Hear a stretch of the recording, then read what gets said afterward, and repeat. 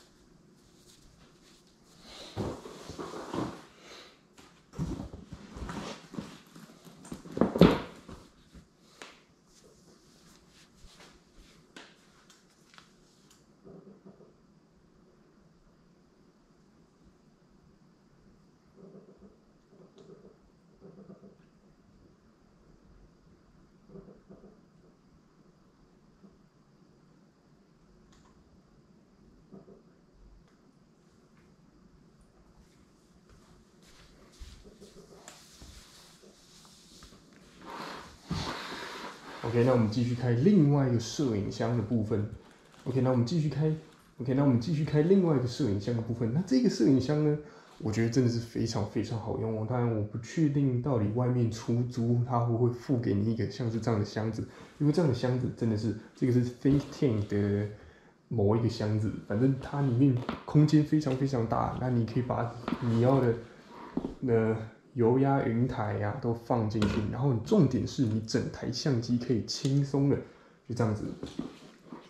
就是你不用拆任何东西，你无线跟焦啊、镜头啊，然后主板啊或者是线啊，线要记得拔，对，不然你会凹烂它。但是还有上面的把手都不用拔，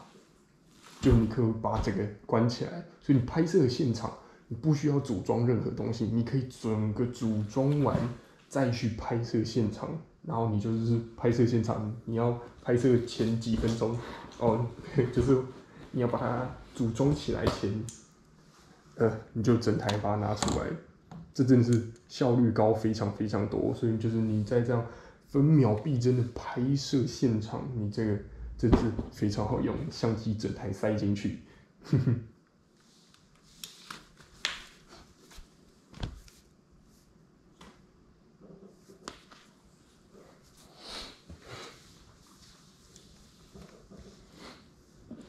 这里面还多塞了，那这里面还多塞了几颗底，那这里面还多塞了几颗镜头。这次我拍摄，我带了一二三四五六颗镜头，反正就嗯，就你想要玩的哪些镜头，你就带着，这样子就没有什么大问题啦。就不知道你什么时候会忽然想到，哎，这个角度，我觉得这颗镜头还不错，那就可以派上用场，就。嗯，多带一些器材，那你在现场可以发挥的就会更多，更忽然想到，你就可以马上实现出来。你不会忽然想到说啊，我忘了带那个啊，我忘了带那个之类的问题，就是带了没有用到就是没差啊，有用到就是加分这样子。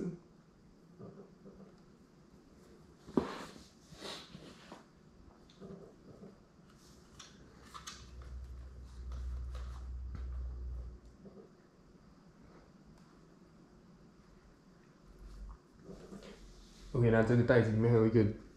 ，OK，那这个袋子里面还有一个荧幕，OK，这 OK 这袋子里面还有一个荧幕，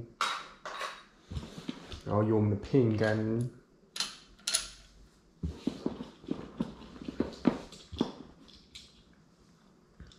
还有这个神奇的无线小图传，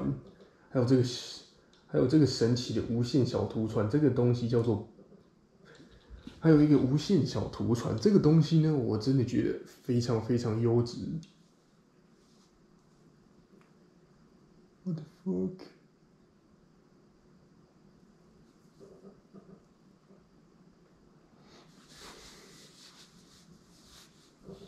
这个小图传呢？这个小图传。这里还有一个小图传，这个叫做，这里还有一个小图传，它叫做 Band Box 笨盒，你可以上网去查，这个真的是超级便宜，三千多块钱台币，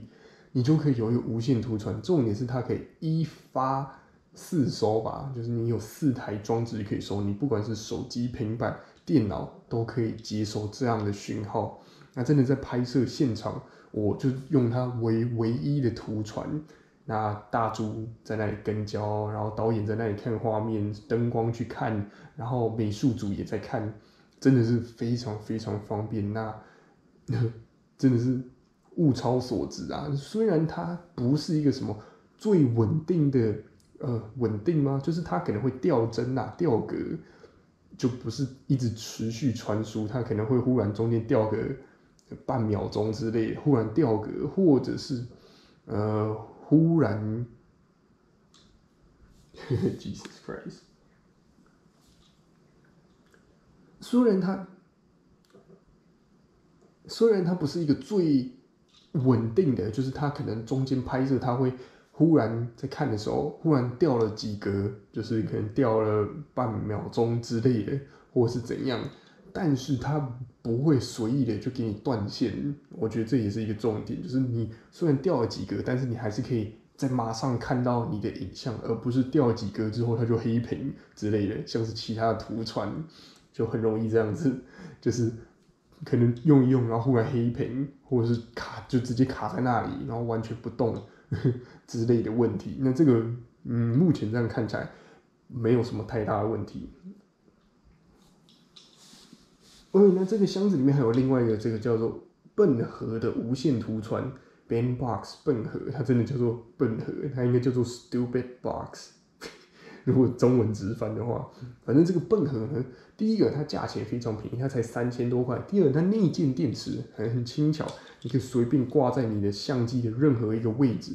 都很简单。那第三就是它的影像很容易可以发送到各种装置，就是它可以一发四收，你可以到手机、平板、电脑都可以去接收这样的讯号。那你可以一个给导演，一个给灯光组，他去调灯；一个给美术组去调整东西，然后一个再给大柱去跟焦。就假设他要跟焦的话，就是没有什么太大问题。虽然是有延迟，但是没有到太夸张的延迟，可以一秒钟之类的。那那个大柱跟焦也跟得很还蛮顺的，就我也真的是出乎意料，就是有延迟。然后还可以跟焦，而且还没有什么太大的问题。我觉得真的可能是大柱非常非常厉害吧，就给他们两百分。反正这个图传真的是超级超级好用，虽然它不是一个最稳定的影像图传，就它有的时候你可能在拍摄中途它会掉格，掉个几格，或是卡个零点几秒钟这样子，但是它不会。给你全部黑屏，或者是直接定格，就是卡住一个画面，然后你还要去重开这样的现象，就没有这个问题。那其他的图传就是一对一的那种专业的图传，什么 H 开头啊，或者是 V 开，对 V 开头的，嗯，有的时候会遇到这样的状况，那就你就要整个重开，然后重连，或者是干嘛的。这个东西我在很多很多拍摄就是。呃，可能大柱那边还有一个 loop out，我就接在那里，然后我就侧拍，然后我也可以有看到影像到底在干什么。就反正这用途非常非常的广，不一定只是一个小小图传，单纯看影像而已。你有非常非常多的实用的方式，反正还蛮推的。如果有兴趣，我有拍一个影片，你可以去看看。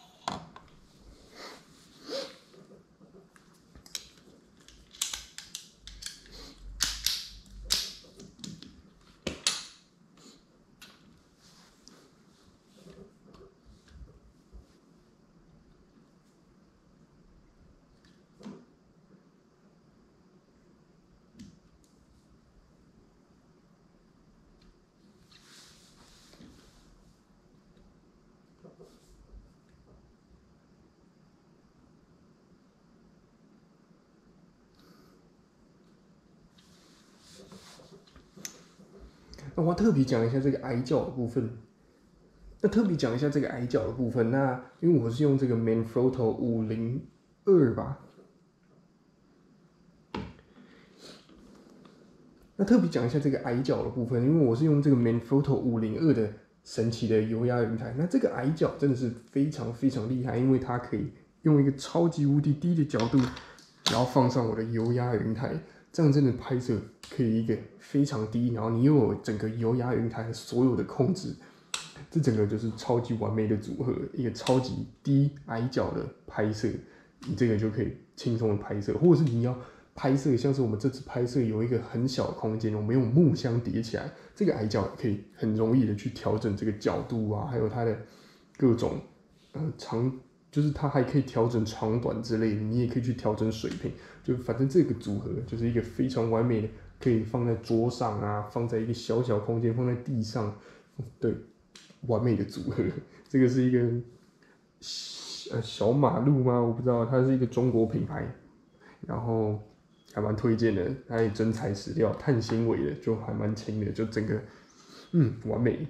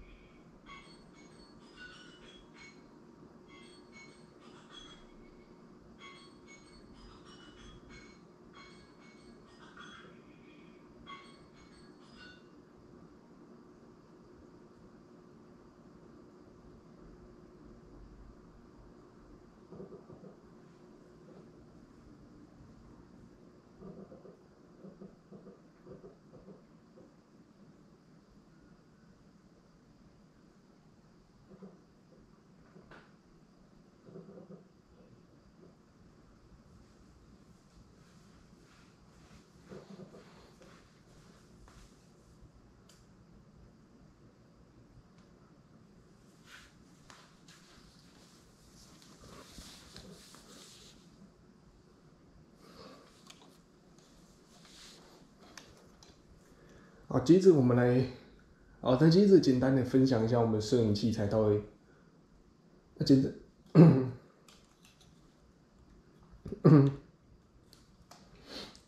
那简单的分享一下我们的相机，简单的分享一下我们的摄影器材到底上面装了什么东西。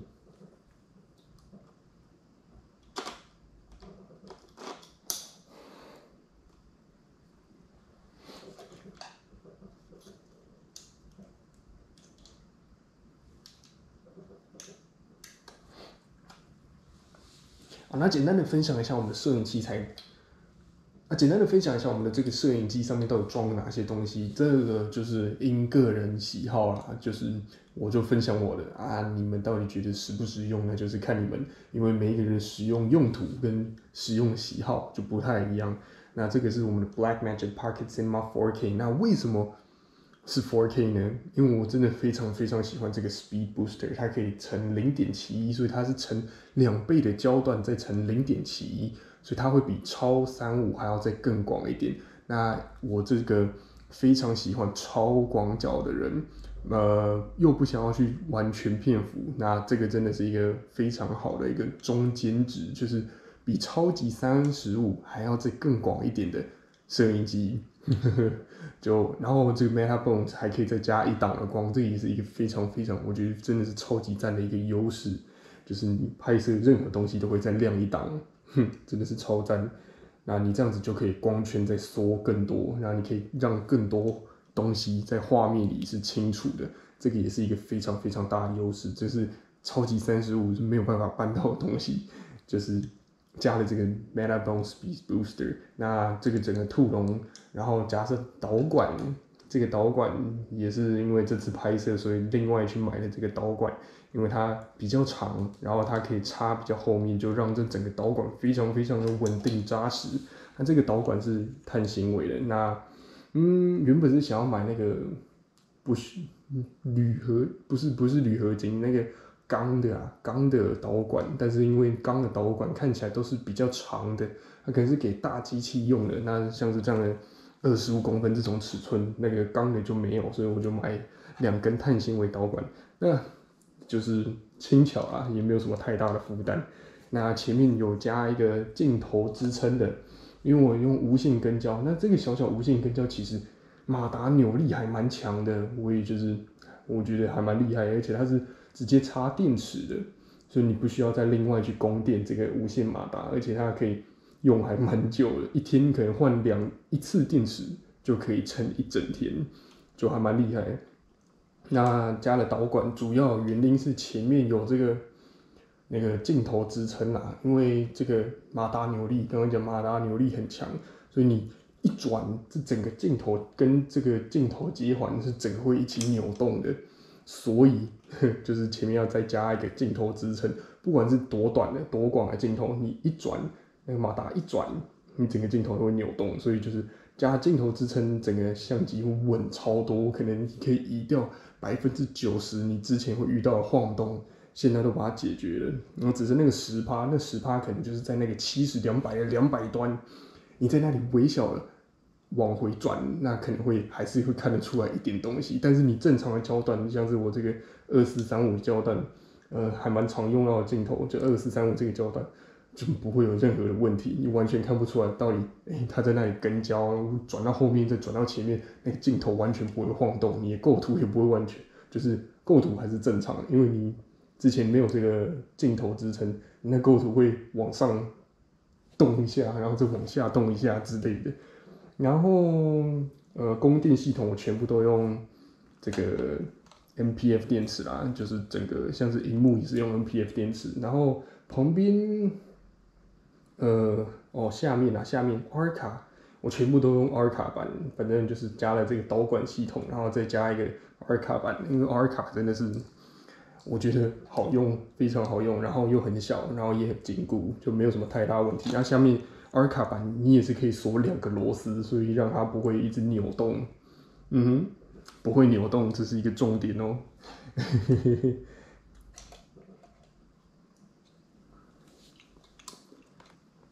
那上，那整个那整个摄影机上面，整个摄影机上面加的这一个把手，整个摄影机上面用的这个把手，其实在剧情片很少会用到这个把手，呃，可能啊，可能就是呃大柱要帮你去调个位置或者是干嘛的，然后帮你拿相机的时候可能会用到这个把手，但是拍摄时候比较少会碰到这个把手。就你手持，你也不会这样子去手持，你一定会去上 Easy Rig 啊，或者干嘛的。那重点讲到 Easy Rig，Easy Rig 就是要去调这个把手，所以这个把手还是存在的。不然你其实可以就把这个把手拔掉，要上 Easy Rig 再把放上来。嗯，对，没错，哼，差不多就这样了。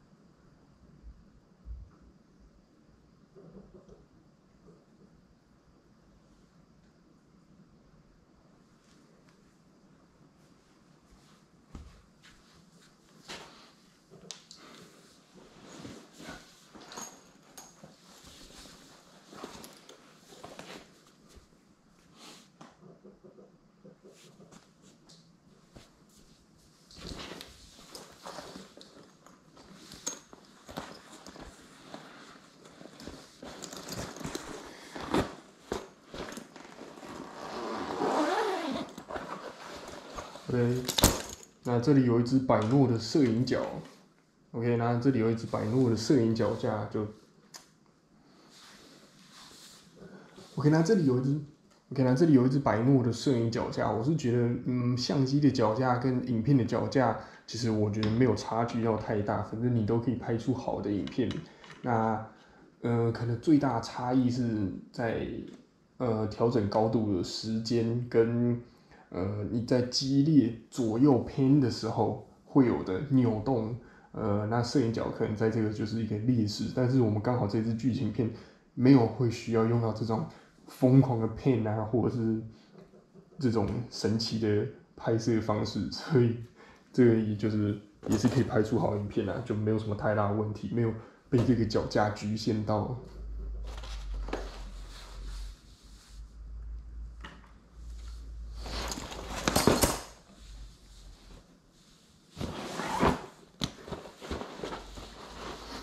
这里还有一整袋的，那这里还有一整袋的，虽然外面写 DJI，但里面也跟 DJI 完全没有相关。那这里有几个东西，就是有这种雨伞关节。那这雨伞关节也是一样，就是像我刚刚讲的这个弓头鸡鸡的部分，弓头你也可以很容易就给它插上这个雨伞关节，然后去夹任何东西。哇！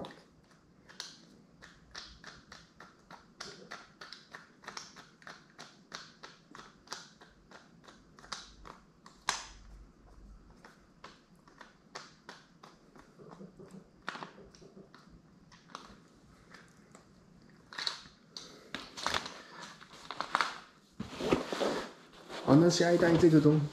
下一代这个是我们的 DJI。我，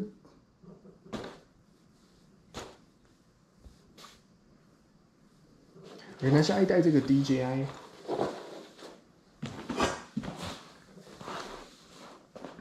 下一代这个 DJI。